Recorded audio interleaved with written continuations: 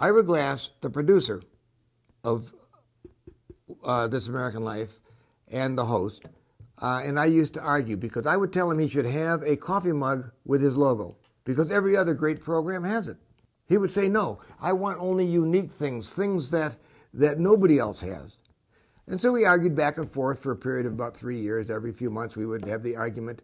Then one day, in that argument, I got pompous. I rolled out the pulpit. I got evangelical. I started spewing the most ridiculous nonsense. I was so wound up, why, God, I'm going to make the point. Ira still said no.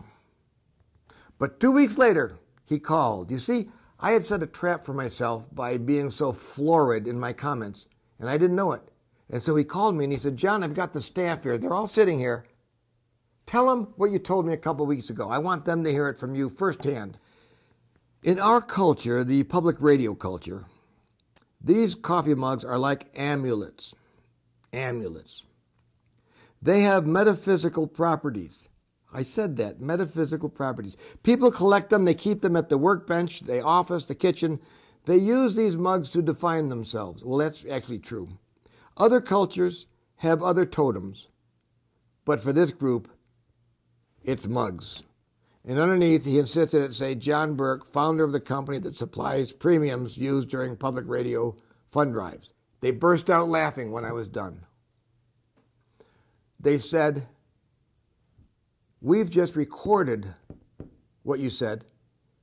If you'll put that tripe on a mug with our logo,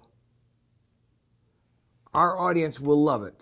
Stations throughout the country can pitch it on air and say, send us a contribution and you can get this foolishness. And everybody had a good laugh at my expense. It is funny. I know it's funny. I did say it. I can't escape it. And so, as I say, my reputation maybe got dinged a little bit, but it's raised a lot of money for stations.